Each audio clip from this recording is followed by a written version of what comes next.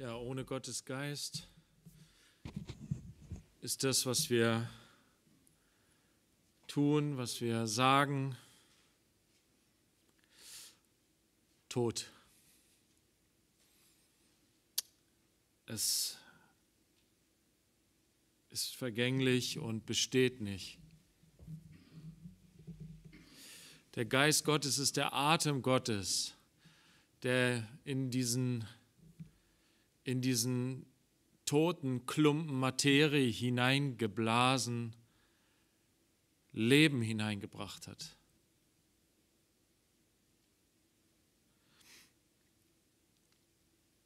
Und am Sonntag haben wir uns damit beschäftigt, mit, damit, dass obwohl wir zum Leben gebracht wurden, zur Welt gebracht wurden, geboren wurden, dass wir dennoch tot sind. Und dass erst der Geist Gottes hineinblasen muss in unser Leben, hineinkommen muss und uns zu neuem Leben erwecken muss. Und Jesus hat das so gesagt zu dem Schriftgelehrten, du musst von neuem geboren werden, sonst kannst du nicht in das Reich Gottes kommen. Sonst kannst du nicht Teil des Reiches Gottes, der Herrschaft Gottes werden sonst bist du weiter tot in deinen Sünden. Und wie kommt es, dass der Geist Gottes in unser Leben hineinbläst, hineinweht und uns neu macht, neues Leben gibt? Wie kommt es? Es kommt durch Jesus, sein Sohn, durch die Erlösung, die Jesus uns allen gebracht hat am Kreuz von Golgatha. Und erst wenn wir wirklich begreifen, dass es wahr ist, dass ich Erlösung brauche, dass ich Vergebung brauche, dass ich neues Leben brauche, dass ich Errettung brauche von der Gefangenschaft, in der ich lebe. Erst wenn ich das begreife und wenn ich im Glauben annehme, diese Rettung, die Gott mir schenkt,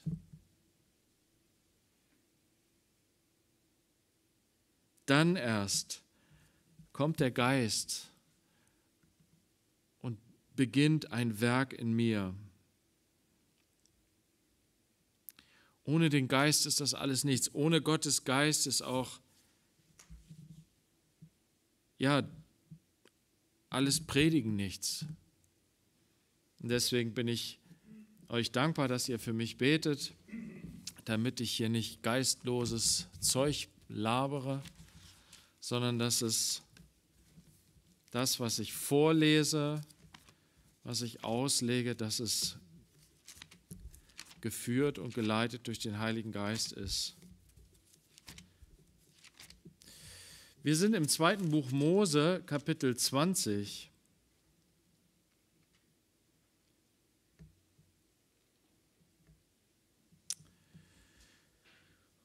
Und es ist der Bund Gottes, den Gott mit seinem Volk Israel schließt am Berg Sinai. Es ist ein Stück weit wie ein Ehebund. Es ist aber auch der Bund Gottes mit einer Auswahl von Menschen. Angefangen hat diese Auswahl mit einem, mit Abraham. Aber nicht nur mit einem, sondern Gott hat in Wirklichkeit zwei auserwählt. Abraham und Sarah.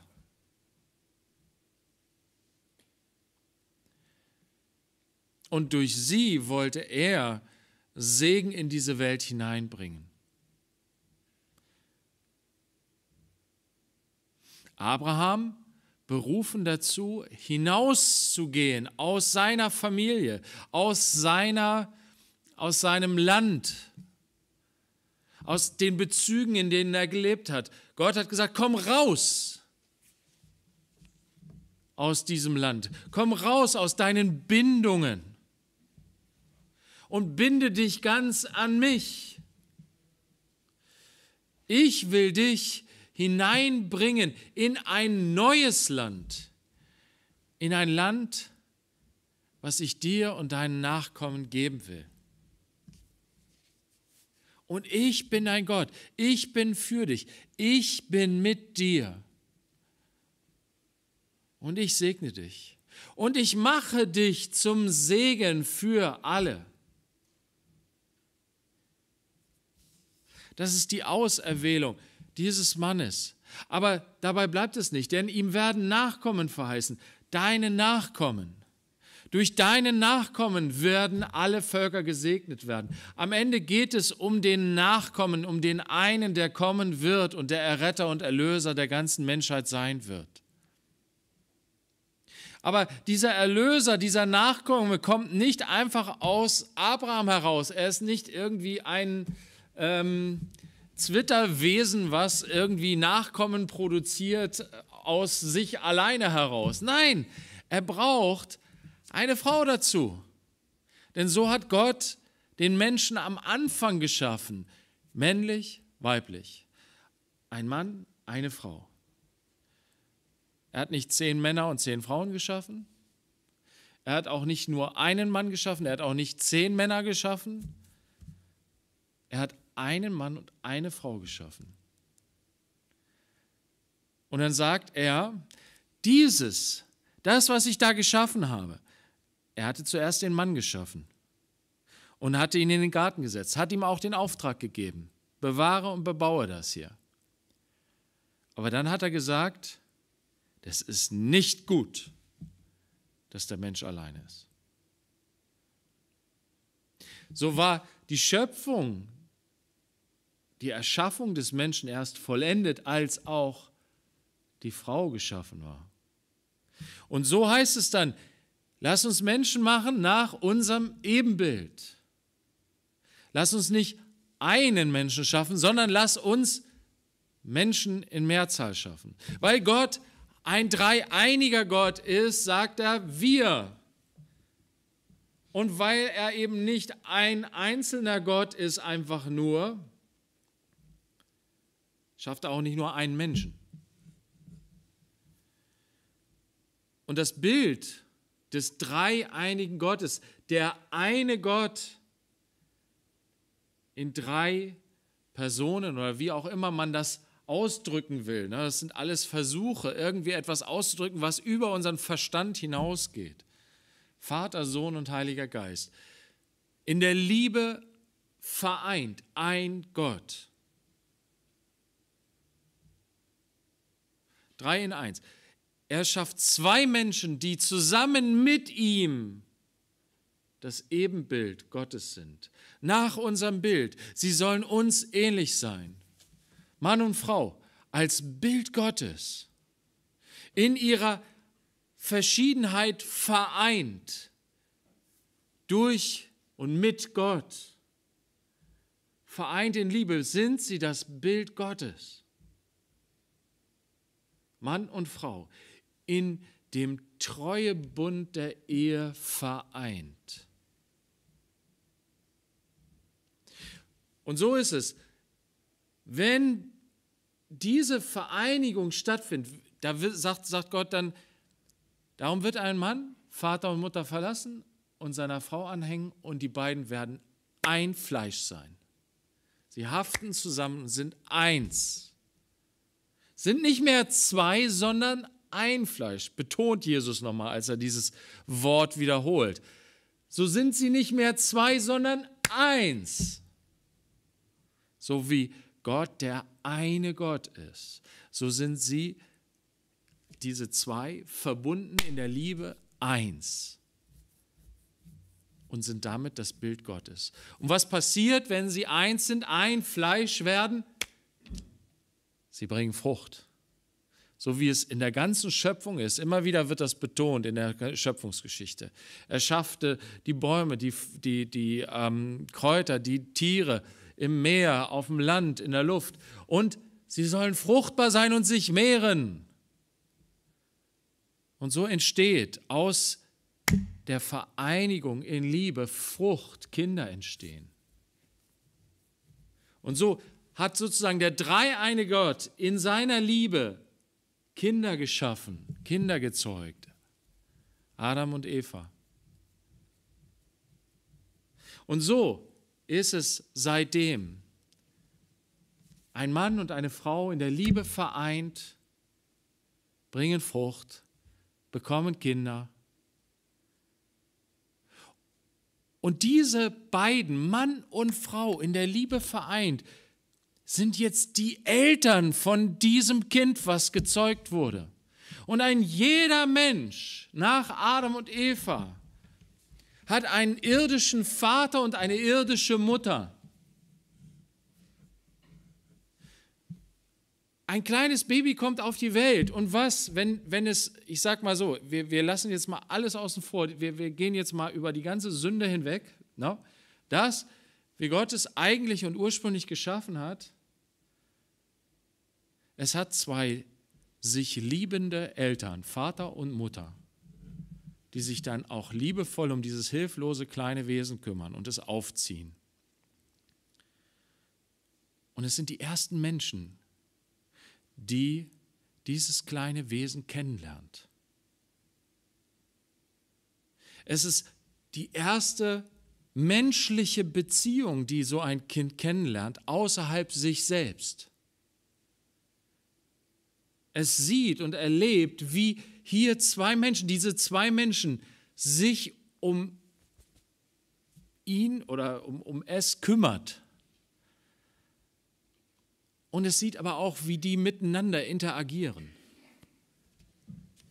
Von der Pike auf, von klein auf, hab, haben die Kinder ein Bild vor Augen. Und nach der Schöpfung soll es das Ebenbild des lebendigen Gottes sein. Mann und Frau in Liebe vereint, mit Gott im Zentrum. So ist es ein großes Geheimnis, dass in der Familie ein Mensch Gott kennenlernt, ohne dass Gott verkündigt wird. Anhand des Bildes, was ihm vor Augen geführt wird durch Vater und Mutter, durch die Liebe von Vater und Mutter, die sie zueinander haben und zu dem Kind. Deswegen ist Gott die Familienbeziehung so wichtig, so wertvoll, dass er innerhalb der Gebote, das erste Gebot, was jetzt nur noch auf die zwischenmenschliche Beziehung bezogen ist, als erstes diese Beziehung in den Fokus rückt. Zuerst sagt er in 2. Mose 20, die Beziehung zwischen dir und mir. Das ist das Wichtigste, das ist das Erste. Die Liebesbeziehung zwischen dir und mir. So wie er zu Abraham gesagt hat. Lass alle Bindungen fahren, die du zu Menschen hast. So sagt Jesus das auch. Jesus hat gesagt, verlasse alles. Vater, Mutter, verlasse alles. Und häng dich an mich. Wer Vater oder Mutter mehr liebt als mich, ist meiner nicht würdig. Und die Jünger, sie haben alles verlassen, sind ihm nachgefolgt. Und Jesus sagt, wenn du das tust, ist es dann nicht so, dass du dann familienlos sein wirst. Nein, du wirst es zurückerhalten. Du wirst gesegnet werden durch Familie. Aber dieser erste Schritt, Gott ist der erste und der letzte, auch für mein Leben. Das lass uns mal sehen, auch in Bezug auf die Elternbeziehung. Und zwar, ähm, Ja, wie gesagt, in, in ähm, Matthäus 10, Vers 37 steht es. Aufschlagen.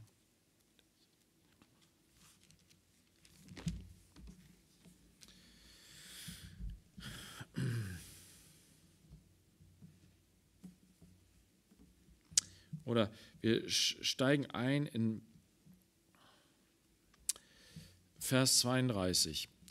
Jesus sagt zu seinen Jüngern, jeder nun, der sich vor den Menschen zu mir bekennen wird, zu dem werde auch ich mich bekennen vor meinem Vater, der in den Himmeln ist. Paulus sagt uns, wenn du glaubst in deinem Herzen und mit deinem Mund bekennst, wirst du errettet werden. Die Liebe zu Jesus, der Glaube an Jesus, der Glaube an den dreieinigen Gott, der ist nicht nur eine Sache des persönlichen, privaten, sondern es ist auch etwas Öffentliches. Das, was in Deutschland praktiziert wird, Religion ist Privatsache. Bitte rede doch nicht über deine Religion. Bei uns geht es noch. Äh, wir haben gerade eine französische Austauschschülerin. Da ist es so, dass du in öffentlichen, in staatlichen Institutionen von Religion nicht sprechen darfst. Sie, sie, sie erzählt, in ihrer Schule darf sie nicht über Glauben sprechen mit ihren Mitschülern. Das ist schon krass. Aber ein Stück weit ist es bei uns auch so. Nur, dass es nicht gesetzlich geregelt ist, sondern dass es eher so ein Geist ist. Davon redet man nicht. Das ist sehr persönlich, das ist sehr intim, das lassen wir lieber außen vor. Aber es gibt auch Menschen, die hungrig eigentlich danach sind. Und wenn du dann plötzlich anfängst, über den Glauben zu sprechen, dann sind sie plötzlich ganz ohr, weil sie das so vermissen, weil es eben so selten thematisiert wird.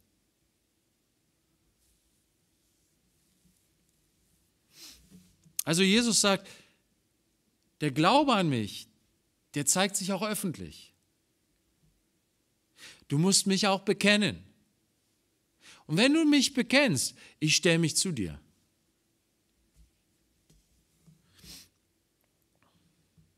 Aber dieses Bekenntnis, das kann uns manchmal auch in Schwierigkeiten bringen, oder? Wir merken, wenn ich hier mich jetzt offen zu Jesus stelle und zu meinem Glauben stelle, dann kriege ich vielleicht Gegenwind. Dann kriege ich vielleicht, ja, dann, dann verspiele ich mir vielleicht die Sympathien. Und dann lassen wir es lieber. Warum? Weil wir die Sympathien nicht verlieren wollen. Weil wir den Menschen, im Endeffekt den Menschen höher achten als Gott. Und deswegen sagt Jesus, wer aber mich vor den Menschen verleugnen wird, den werde auch ich verleugnen vor meinem Vater, der in den Himmeln ist. Und das hört sich erstmal krass an und hart. Aber das ist die Realität. Wenn wir nicht diesen Schritt tun und uns zu Christus stellen, zu unserem König, ihn bekennen als unseren Herrn, dann trennen wir uns von ihm. Das ist Sünde. Und Petrus ist in diese Sünde gefallen. Er hat dreimal geleugnet, dass er Jesus kennt. Nö, Jesus kenne ich nicht. Warum? Weil er Angst um sein Leben hatte. Und es ist verständlich, menschlich verständlich, und es ist trotzdem Sünde. Er hat ihn verleugnet. Derjenige, der für ihn dann am Kreuz gestorben ist. Der, der ihn geliebt hat, der ihn berufen hat, der ihn berufen hat, ein Menschenfischer zu werden, der seinem Leben einen Sinn gegeben hat, der ihm darüber hinaus ewiges Leben geschenkt hat.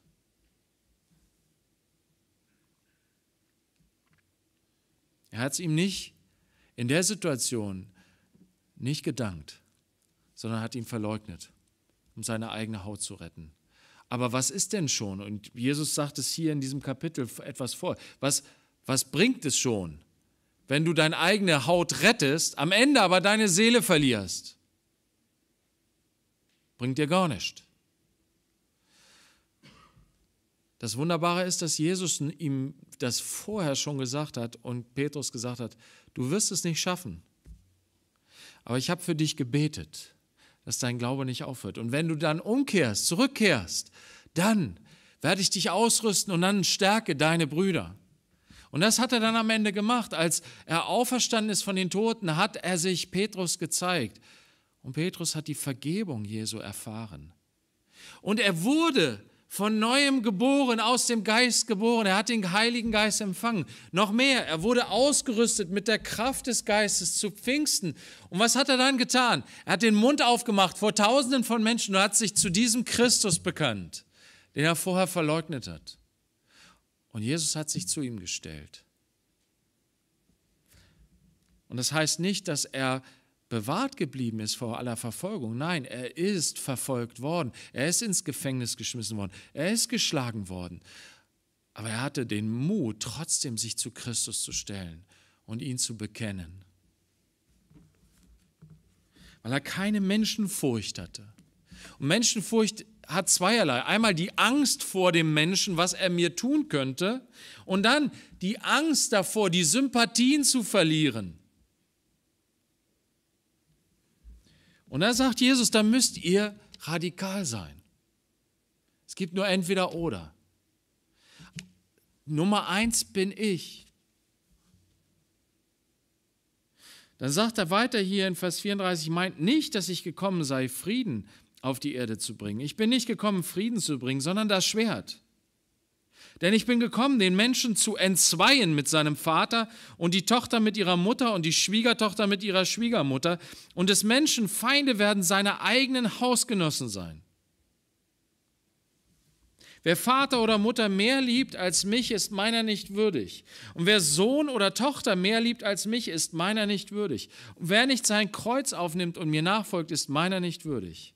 Wer sein Leben findet, wird es verlieren. Und wer sein Leben verliert, um meinetwillen, wird es verlieren. Das scheint hier erstmal ein totaler Kontrast zu sein zu dem, was wir lesen in äh, 2. Mose 20. Ehre Vater und Mutter. Die heile Familienbeziehung. Aber es ist hineingesprochen in eine sündige Welt, wo Vater und Mutter eben nicht mehr das Bild Gottes sind, weil sie Sünder sind.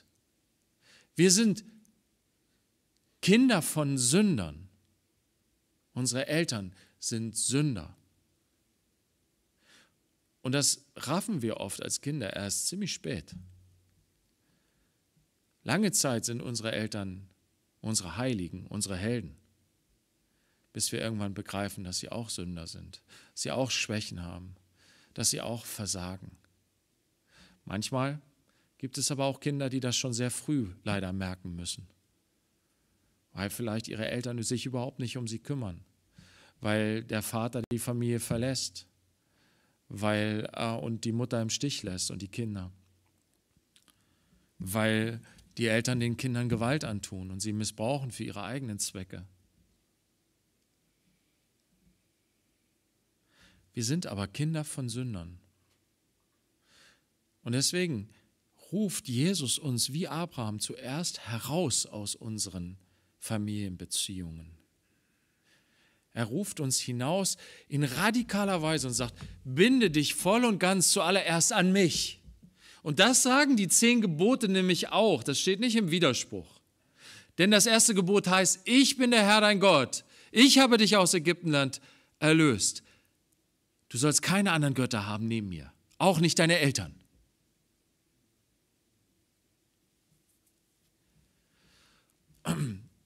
Deswegen, wer Vater oder Mutter mehr liebt als mich, der ist meiner nicht würdig.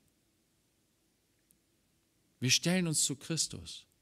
Das ist ganz interessant, wenn wir uns dann äh, die, die Abfolge der Könige anschauen. Und das steht dann oft in den Königebüchern, dass ein neuer König kommt, ein Nachkomme Davids. Und dann steht da, ja, er tat, was böse war in den Augen war, Gottes war, wie sein Vater und seine Mutter. ein guter Junge, der seine Vater und seine Mutter ehrt und genau das tut, was sie auch getan hat. Ist nicht im Sinne Gottes. Hier sollte ein Sohn ungehorsam sein, seinen Eltern. Man muss Gott mehr gehorchen als den Menschen, gilt auch in diesem Zusammenhang. Wenn es da um Gott geht, da lasse ich mich nicht von meinen Eltern verführen. Ich gehe nicht den Weg meiner Eltern. Nein, ich gehe den Weg Gottes, weil Gott mein Vater ist. So sehen wir das bei Jesus in Lukas 2.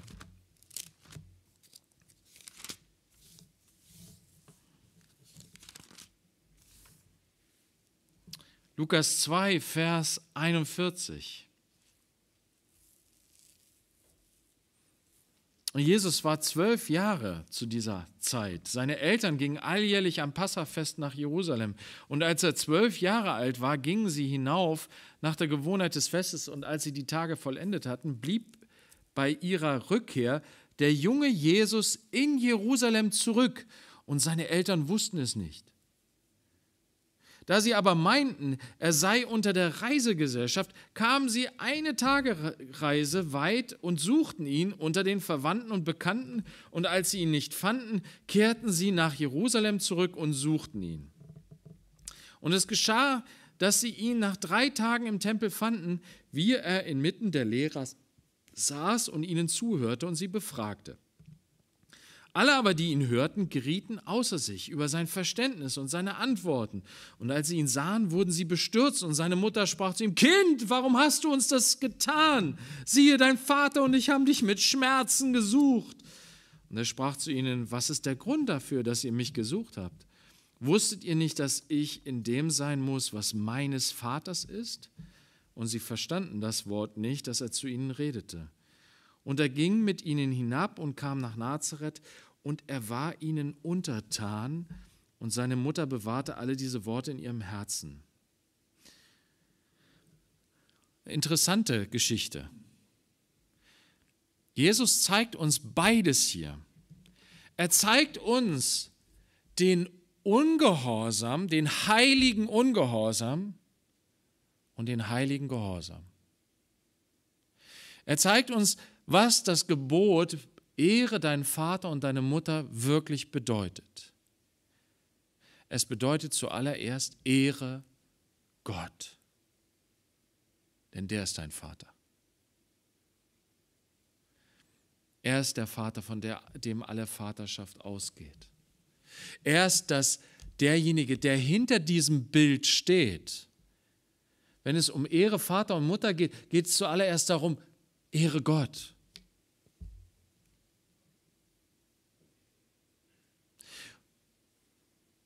Und deswegen, er, er setzt die Prioritäten. Er sagt, Gott ist mein Vater. Ich bin das erste Mal im Haus meines Vaters. Ich musste in diesem Haus sein und bleiben. Ich musste Zeit in diesem Haus verbringen, in der Gemeinschaft mit meinem Vater. Und die Eltern waren völlig irritiert, waren völlig durcheinander, waren völlig, ja, auch entrüstet darüber ein Stück weit. Wie konntest du uns das antun? Ja, ihr seid nicht mein wahrer Vater. Ich habe einen wahren Vater, der ist im Himmel. Klingt erstmal hart. Aber was dann passiert, ist genauso wichtig und dürfen wir nicht außer Acht lassen. Er ging mit ihnen und ordnete sich ihnen unter.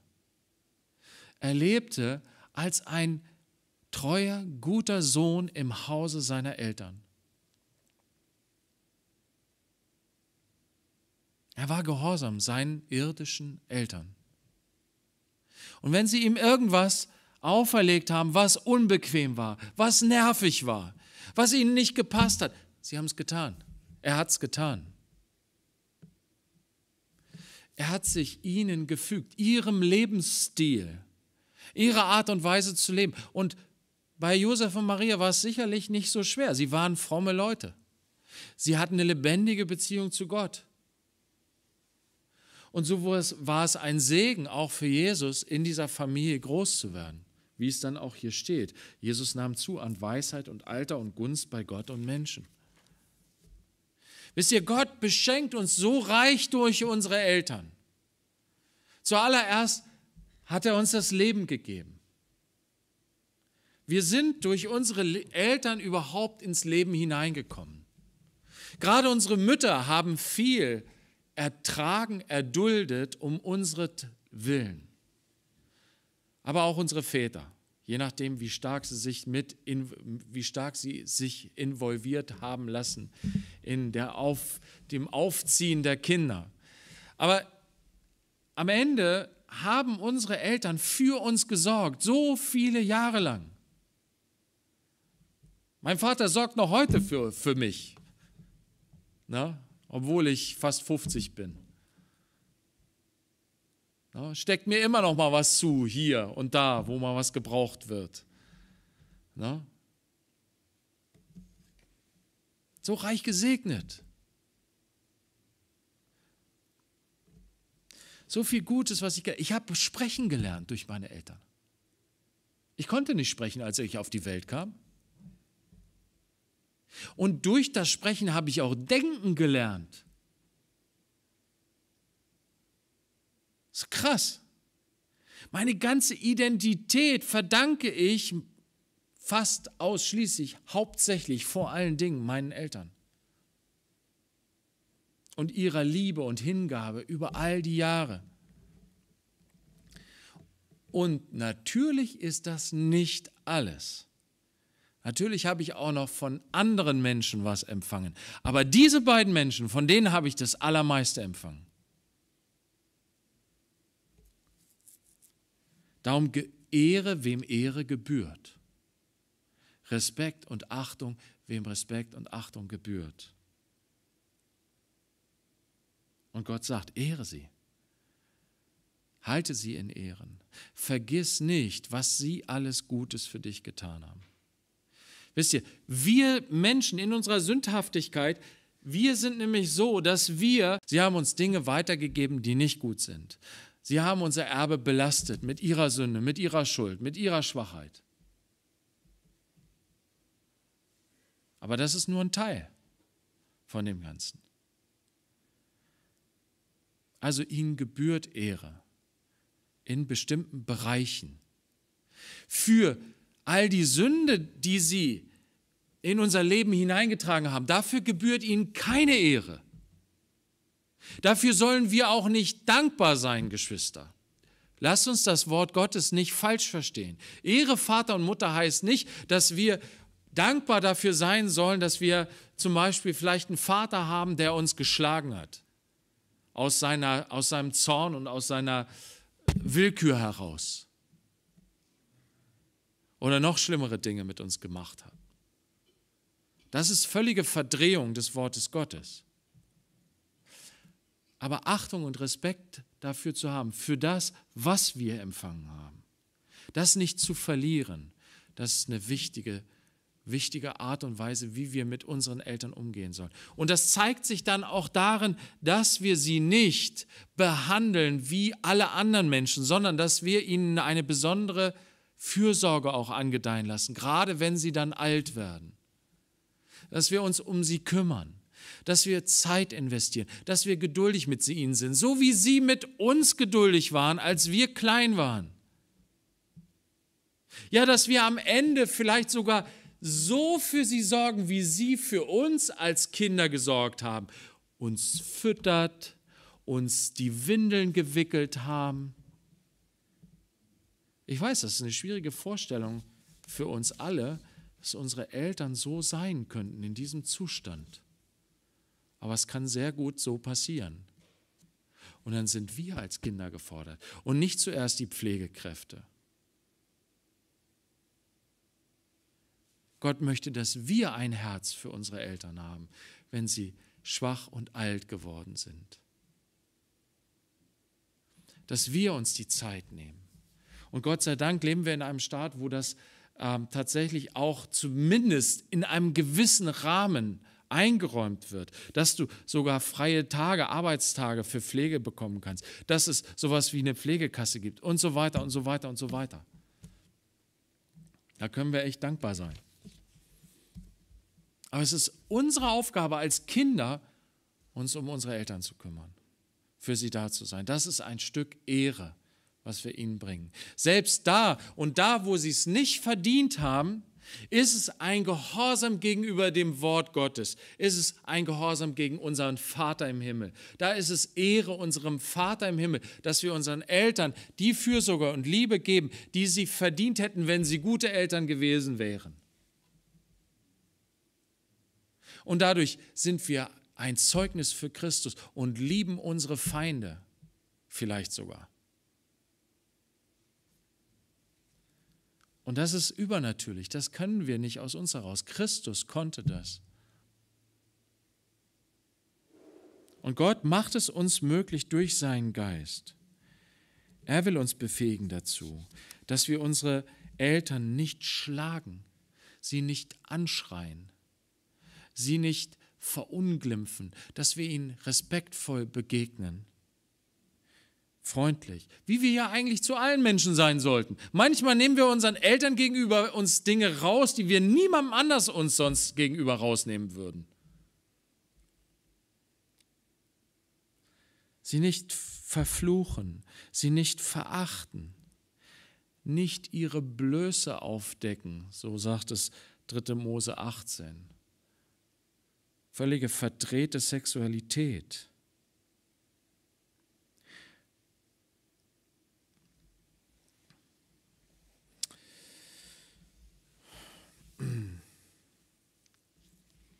Wir haben es oft in den Sprüchen gelesen auch, sonntags. Und ich denke, das ist ganz wichtig, dass wir das beherzigen. Ich habe das in meinem Leben, kann ich so sagen. Ich habe da gegen dieses Gebot oft gesündigt. Als junger Mann und ja, im Grunde bis heute. Und irgendwann, als ich Christ geworden bin, habe ich das gespürt, gemerkt in meinem Herzen, dass das eine Art und Weise ist, wie sich mein Fleisch äußert, meine alte sündige Natur. In diesem Widerstreben gegen meine Eltern, insbesondere meinem Vater gegenüber. Wenn er mir schon irgendwas gesagt hat, habe ich schon innerlich diesen gehabt. Nee, das will ich jetzt aber nicht. Und ich habe dadurch so viel verpasst. Mein Vater hätte mich so viel gute Dinge lehren können. Er hätte mir so viele gute Sachen zeigen können. Aber weil ich so widerstrebend innerlich war, habe ich es verpasst. Wenn es um handwerkliche Dinge geht, habe ich zwei linke Hände. Ich hätte so viele super Sachen von ihm lernen können, was das angeht. Aber ich wollte ja nicht. Habe mich gesperrt.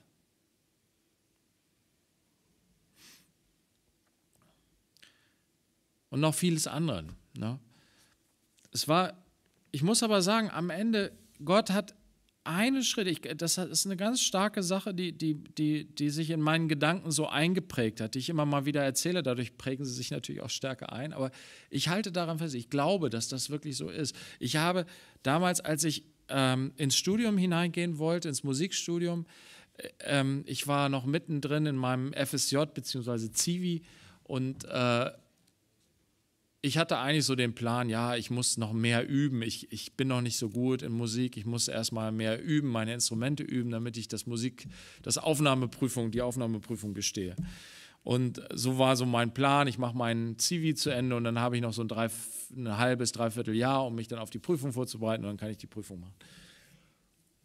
Und dann hat mein Vater gesagt, ja, warum, warum probierst du das jetzt schon? Probier das doch jetzt schon mal.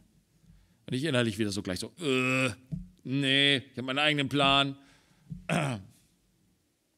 Und ich weiß nicht, irgendwie hat Gott mir geholfen in dieser Situation. Ich war noch ein junger Christ, ne? relativ frisch zum Glauben gekommen. Zwei Jahre oder so. Dass ich irgendwie den Dreh gefunden habe und gesagt, okay, gut, lass dich einfach mal drauf ein. Einfach im Sinne Gottes, meinem Vater gehorsam zu sein und diesen Schritt zu machen. Und wisst ihr was? Gott hat das gesegnet. Es war dann so, dass ich mit meinem Kumpel Aufnahmeprüfungen in verschiedenen Städten gemacht habe. Und ja, ich bin von den vier Aufnahmeprüfungen, die ich gemacht habe. Nee, drei, drei habe ich gemacht, glaube ich. Von den dreien, da bin ich bei zweien durchgefallen. Gleich die ersten zwei durchgefallen. Ja, und Entmutigung. Ne? Und dann bei der dritten, hier in Hannover, habe ich dann bestanden. Und so hat Gott mich hier nach Hannover gebracht, sonst wäre ich jetzt nicht hier.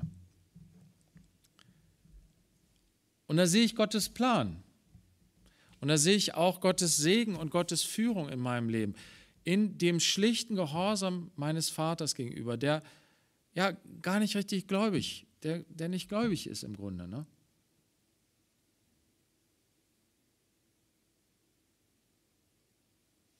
Zumindest ne, nicht in dieser lebendigen Beziehung mit Gott lebt, dass er jetzt ein geisterfüllter Mann gewesen wäre, der ne, von Gott Weisheit empfangen hat, hier jetzt zu sehen, was für mich richtig und wichtig ist. Aber Gott hat es ihm dennoch gegeben, weil er mein Vater ist.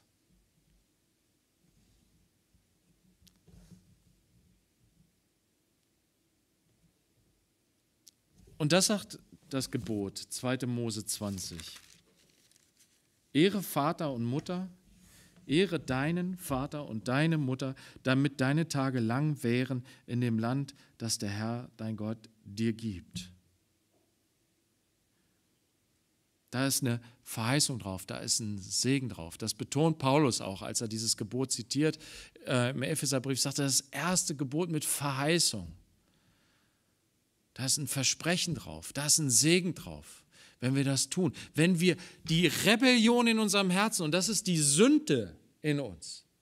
Jesus hat es ausgezeichnet als der Sohn Gottes, dass er gehorsam war. Bis zum Tod am Kreuz. Darum hat Gott ihn erhöht. Er ist das gehorsame Kind seines Vaters im Himmel. Und das möchte Gott auch aus mir machen, das gehorsame Kind meines Vaters im Himmel. Dazu hat er mir den Geist seines Sohnes gesandt. Dazu gehört aber auch, wie gesagt, diese Unterordnung unter denen, die Gott mir gesetzt hat als Eltern. Denn ich habe mir meine Eltern ja nicht selbst ausgesucht.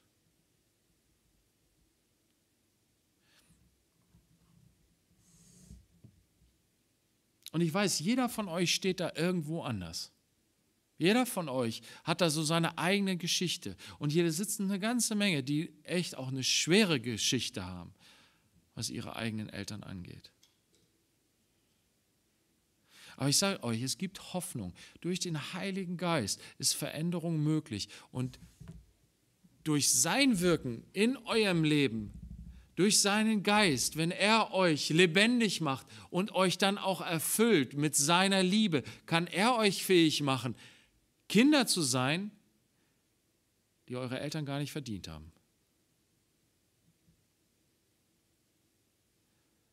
Und das ist, das ist die Verheißung, die er für uns hat, dass wir uns umgestalten lassen durch seinen Geist, in sein Bild. Das ist auch der neue Bund, wo er sagt, das ist der neue Bund. Ich werde mein Gesetz in ihre Herzen schreiben. Ich werde meinen Geist über sie ausgießen sodass sie in meinen Geboten wandeln. Dazu gehört aber das Kreuzigen des Fleisches. Und das besteht bei dem einen vielleicht darin, aus seinen eigenen Eltern die Götzen, die er aus ihnen gemacht hat, sie niederzureißen, sich zu trennen von Vater und Mutter und sich ganz an Gott zu hängen. Für viele heißt es aber, das Fleisch zu kreuzigen, diesen ewigen Rebellen in meinem Herzen zu kreuzigen. Um meinen Vater und meiner Mutter den Respekt und die Ehre zu erweisen, die Gott mir befohlen hat und dadurch Segen zu empfangen. Ein Segen, den ich mir vielleicht noch gar nicht vorstellen kann. Und ein letztes, vielleicht werdet, wird der eine oder andere von euch oder vielleicht ist der einige, eine oder andere euch unter euch schon Vater oder Mutter. Wenn Gott unseren Kindern aufgetragen hat, dass sie uns ehren sollen, dann sollten wir uns von Gott verändern lassen, dass wir ihnen auch Anlass dazu bieten. Dass wir es ihnen nicht schwer machen, sondern leicht. Ja, so sagt es im Kolosserbrief Paulus, sagt, ihr Väter reizt eure Kinder nicht zum Zorn, sondern erzieht sie in der Furcht und Ermahnung des Herrn. Gerade die Väter werden angesprochen. Gott fordert uns heraus. Er will, dass wir als Eltern ein so, so nah wie möglich an dieses Ebenbild Gottes kommen. Weil das macht es Kindern leicht, am Ende den Vater im Himmel auch anzunehmen, wenn wir als Eltern ihn unseren Kindern vermitteln. Durch unser Beispiel, durch unser Vorbild und dann auch durch das, was wir ihnen verkündigen und weitergeben. So hat dieses Gebot ganz viele verschiedene Richtungen, Auswirkungen und Ziele. Und ja, lass uns das bedenken, lass uns darin, ja, das wirklich in unserem Herzen bewegen, sodass wir klug werden, dass wir weise werden. Wie gesagt, die Sprüche sprechen oft davon, dass darin Weisheit liegt, ähm, bei dem zu bleiben, was Vater und Mutter uns gelehrt haben. Wie gesagt, wenn es durch den Geist Gottes geführt ist. Vater, wir danken dir. Du bist unser guter Vater. Danke, dass du uns berufen hast und gerufen hast in deine Familie hinein. Danke, dass wir durch dich herausgerufen sind aus sündhaften Familienstrukturen. Danke, dass du uns wieder hineinsendest in unsere Familien, um hinein, Segen hineinzubringen, hinein, Segen zu stiften. Herr, und ich bringe dir hier die, die Herzen, die zerbrochen sind, die Herzen, die beschwert sind durch eine belastete Beziehung zu den Eltern.